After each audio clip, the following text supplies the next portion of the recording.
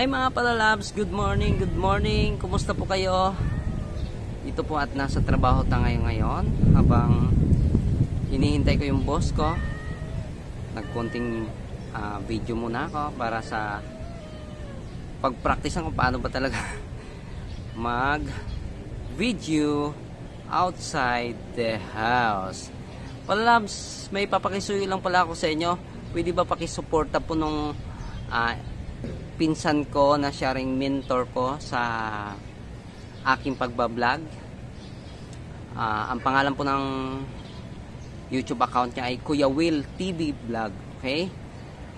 Uh, nais ko pong humingi ng konting suporta para sa kanya para mag-grow naman yung uh, account niya. Okay?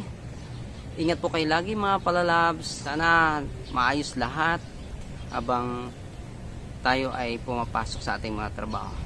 Lagi po nating tandaan, enjoy lang sa life. Di kailangan ma-stress.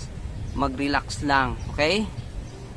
Kung ano man yung mga problema, dadaan, dadaan lang yan sa buhay natin. Ang kailangan lang natin focus.